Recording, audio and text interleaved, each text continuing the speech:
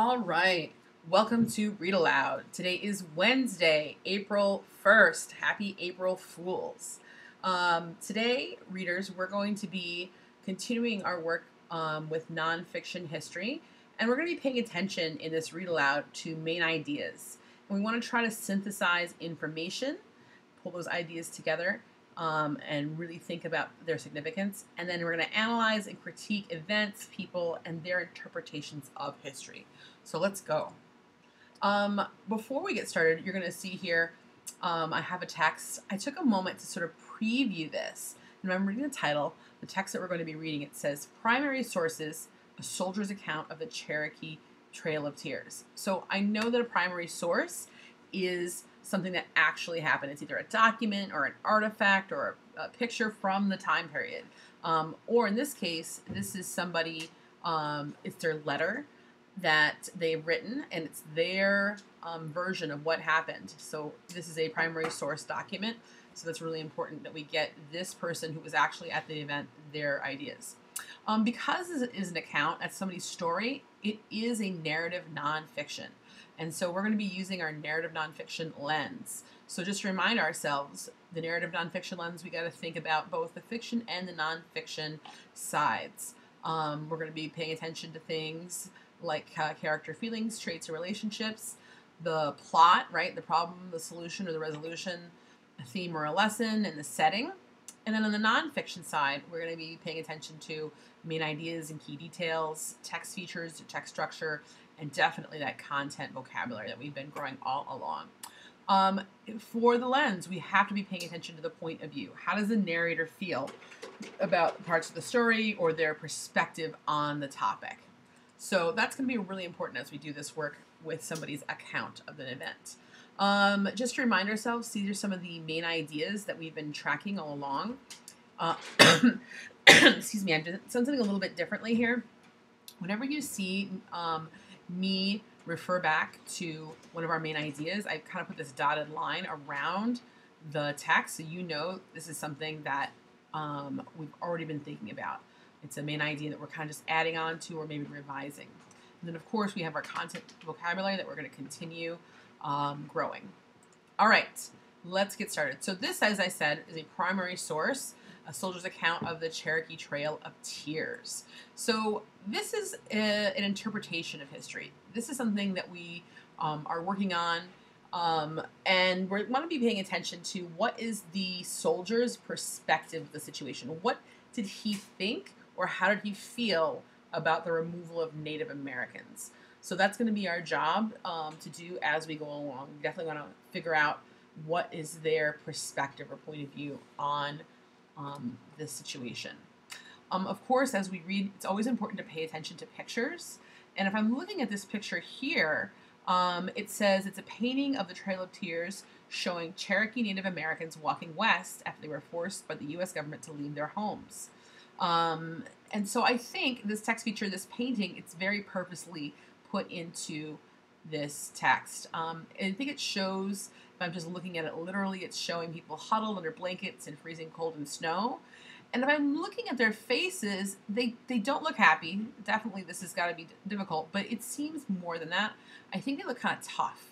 Like he looks kind of determined. His eyes are kind of squinty. His mouth is kind of straight. I think that gives me an idea that maybe um, these are tough people to have to endure um, what we already know to be a really difficult situation. All right, let's get reading. Here's an editor's note. So the person who put this text together um, made this note to you, the reader. In May 1830, Congress passed the Indian Removal Act. The law gave President Andrew Jackson the power to grant land west of the Mississippi River to Native American tribes. The tribes, in exchange, had to leave the land where white settlers were to live. White settlers were to live, excuse me. More than 15,000 Cherokee, led by Chief John Ross, signed a petition to protest the law. Um, so if I'm looking here, um, this paragraph here, I think this is some background. Maybe it's giving us an over, uh, overview of the lead up to the Trail of Tears, right? It says the Cherokee were given a choice. They could leave of their own, or they would be forced to move. By 1838, soldiers were sent in to remove the Cherokee. It was the beginning of what came to be called the Trail of Tears. On their march west, 6,000 Cherokee people died of cold, hunger, and disease. The U.S. soldiers were under the command of General Winfield Scott.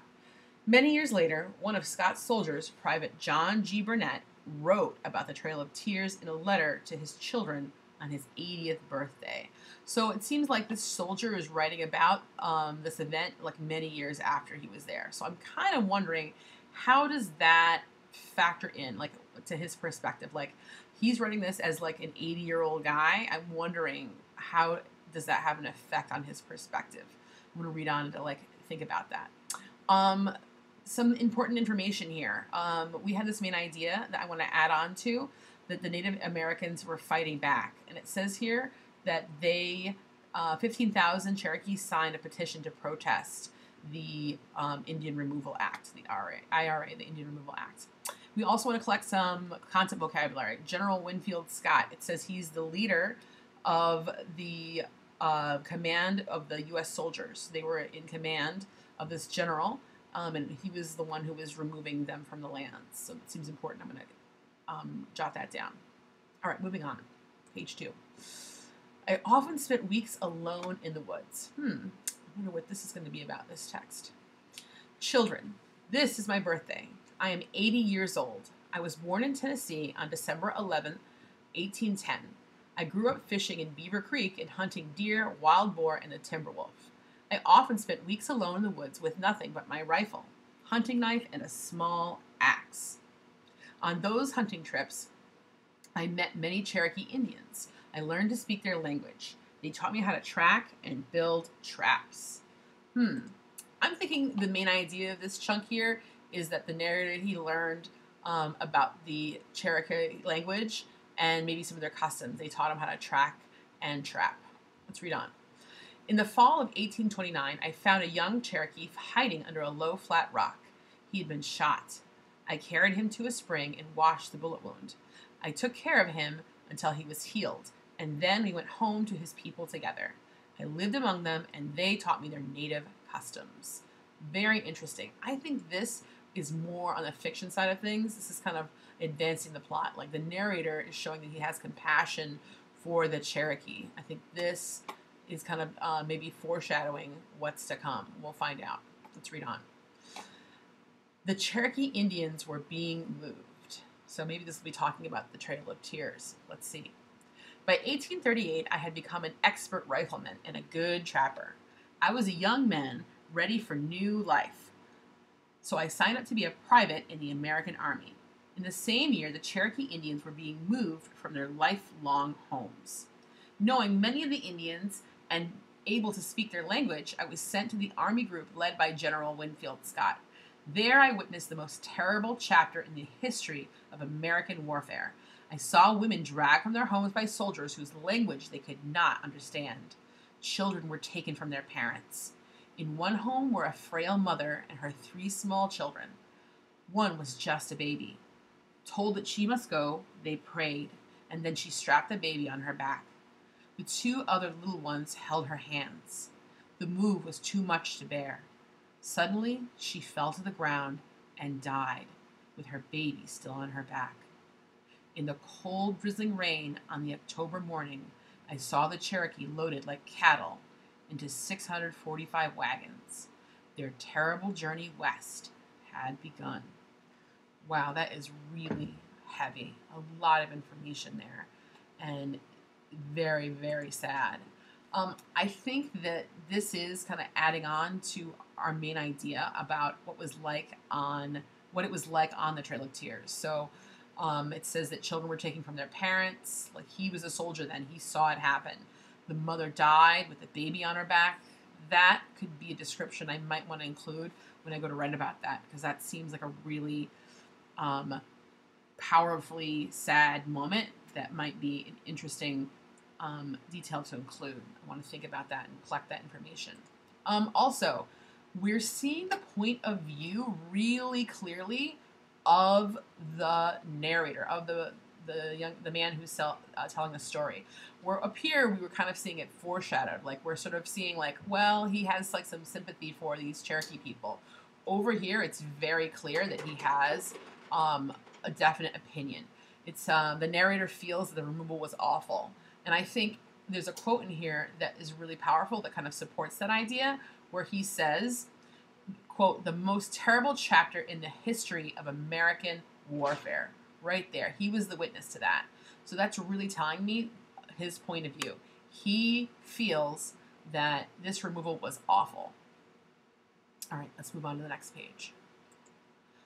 Chief John Ross prayed. I remember him from our vocabulary, Chief John Ross, um, and so I'm wondering what he's praying about. One can never forget the quiet sadness of that morning. Their leader, Chief John Ross, prayed. A horn sounded. The wagon started rolling as the children waved goodbye to their mountain homes. Many of these helpless people did not have blankets and were barefoot. Wow, I'm just imagining that um, in the cold, just like in that picture in the beginning. Um, no blanket and just no shoes. On the morning of November 17th, we drove through a sleet and a snowstorm. They had to sleep in the wagons and on the ground without a fire. As many as 22 Cherokee died in one night from sickness and the cold. This was a trail of death.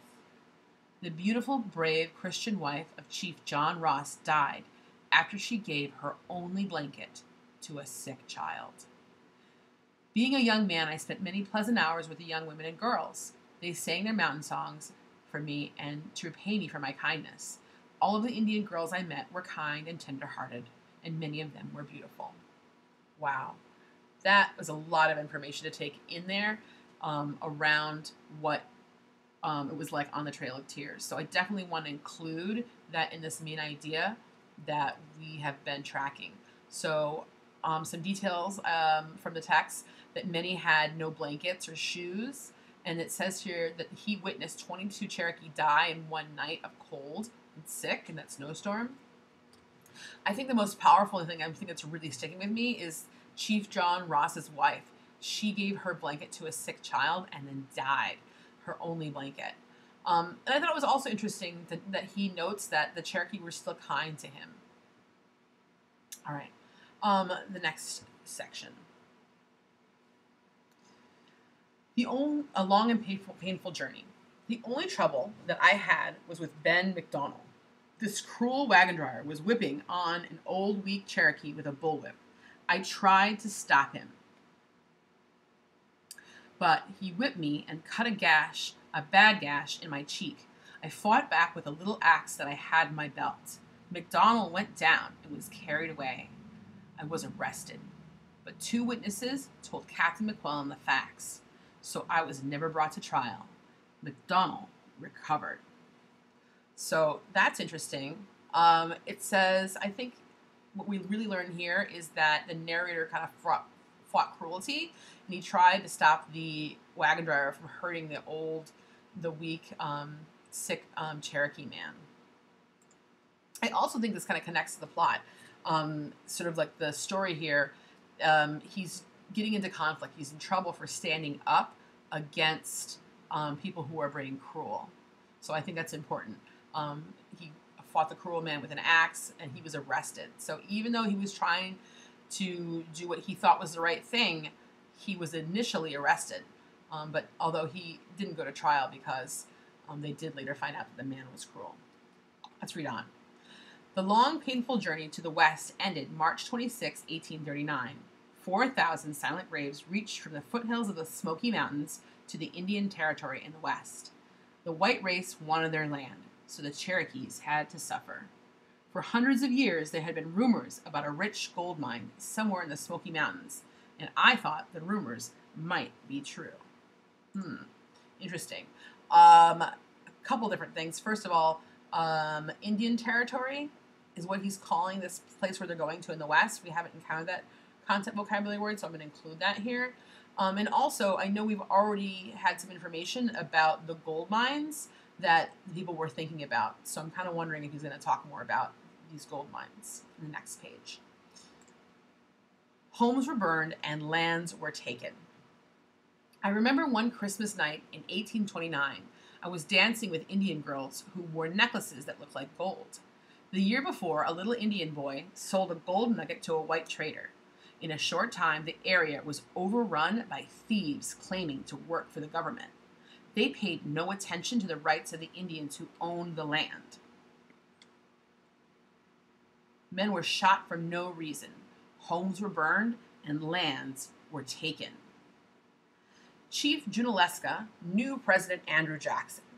the chief and his five and 500 of his Cherokee scouts had helped Jackson win the War of the Horseshoe against the Creek Indians. In that battle, Junaluska killed a Creek warrior who was attacking General Jackson. Chief John Ross sent Junaluska to Washington to plead with President Jackson. Well, I guess General Jackson was once a general and then he became president. So he went to, it's the same guy. Um, so he sent June, John Ross sent June Junaluska to Washington to plead with General Jackson, with President Jackson for protection for his people. But Jackson ignored the fact that his life had been saved by the Indian chief. Wow, there's a lot going on here. So first of all, I think we can add on to our main idea, like what led up to the Trail of Tears. So it says here that thieves um, um, who wanted gold pretend to be for the U.S. government, and that they shot men and burned their houses and stole the land. That sounds incredible. Um, I can't even imagine that. The other interesting thing that's in this other half of this section here was about Chief Junaluska and President Jackson. Um, I think President Andrew Jackson, this is a character thing. He seems really disloyal. So the Cherokee once saved his life in battle when he was a general, but then later when he's president, he ignored the Cherokee when they needed his help.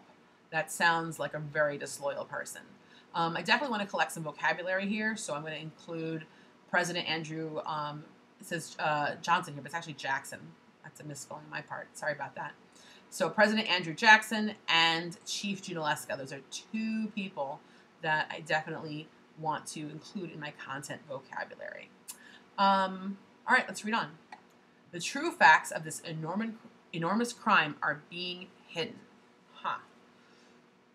Now it is 1890, and the true facts of this enormous crime are being hidden from the young peoples of today. School children do not know that we are living on lands that were taken from a helpless race to satisfy the white man's greed. I tell you what really happened and hope that you will understand that privates, like myself, had no choice in this matter. We had to follow orders of the officers. Know that 25 years later, I met a large company of the Cherokee in the uniform of the Confederate Army under command of Colonel Thomas. They were camped out at Little Creek in Kentucky. So this seems like um, when this happened, obviously it was in, you know, the time period was in the 1830s uh, and early 1840s. So it seems like 25 years later would be the time of the Civil War. Um, so he met a large group of these people, and they were camped at Little Creek in Kentucky. A large group, a group of Cherokee. Most of them were just boys when they had been taken from their homes, but they remembered me as the quote soldier that was good to us. It was an enjoyable day, and I learned from them that Chief John Ross was still ruler in the nation in 1863. I can truthfully say that I did my best for them when they certainly did need a friend. So, in this paragraph, um, I think we're having a point of view moment here. I think he feels um, that everyone should know about this enormous crime. He really feels strongly um, that it's important for the world to sort of know about this. Um, that people were living on lands that were stolen. People are now living on lands that were stolen from helpless people. I also think, in his point of view, um, he he really feels that the soldiers had no choice and they had to follow orders. Um, and he wants other um, to, people to understand that not all soldiers wanted to do harm. Um, and then he also wants to communicate that he, he feels he did his best to be a friend. Um, I think it's up for you if you agree with his point of view. This is where we're doing this interpretation of history. But it's definitely his point of view as someone who was a soldier at that time that um, he didn't have a choice and he was just following orders. That might be an interesting debate over whether or not we think he um, should feel um, bad about being a soldier at that time or not. Moving on. Tears and sounds of the dying. However, murder is murder. A killer can hide in the dark or wear a soldier's uniform. Somebody must explain the 4,000 silent graves that mark the western trail of the Cherokee. I wish I could forget it all, but the picture of the 645 wagons slowly moving over the frozen ground with the suffering Indians still lingers in my memory. Let the history books in the future day tell the sad story with its tears and sounds of the dying. Children, thus ends my promised birthday story. This was written on December 11, 1890. Hmm. This last part in here, I think he's really conveying the purpose. He's the author of this letter to these to his children, and I think his purpose here is that he wants to let people know about the tragedy. Um, and I think he thinks that some soldiers might be guilty, um, but he definitely wants this crime to be remembered. Um, I also think maybe he might feel some guilt himself, even though he sort of talks about how the Cherokee that he met at the time and then later on in life um, felt that he was a good guy. Um, I think this wouldn't stick with him if he didn't feel that he had some kind of guilt for what happened to these people. I don't know. You have to think about that yourselves. Um, all right, some important information for us to include. Make sure that you're getting the content area vocabulary. Make sure that you are jotting it down in your notebook. So you want to add to our content vocabulary the words um, John Ross. Remember, he's the chief of the Cherokee at the time. General Winfield Scott, he was the commander of the troops, the army that was removing the um, the Native Americans. I think specifically the Cherokee. Um, Indian Territory. This is where the Native Americans were being pushed to move to west of the Mississippi. President Andrew, it says Johnson, it's Jackson. I apologize. President Andrew Jackson. He was president during that time. Remember, we thought he was maybe not the best uh, person in the world. He's a very um, maybe untrustworthy person. And then also Chief Junaluska. He was the guy who had saved Andrew Jackson's life when he was a general. All right, friends, that ends our read aloud. Make sure that you pause the video to grab the content vocabulary and jot it in your notebooks. Bye for now.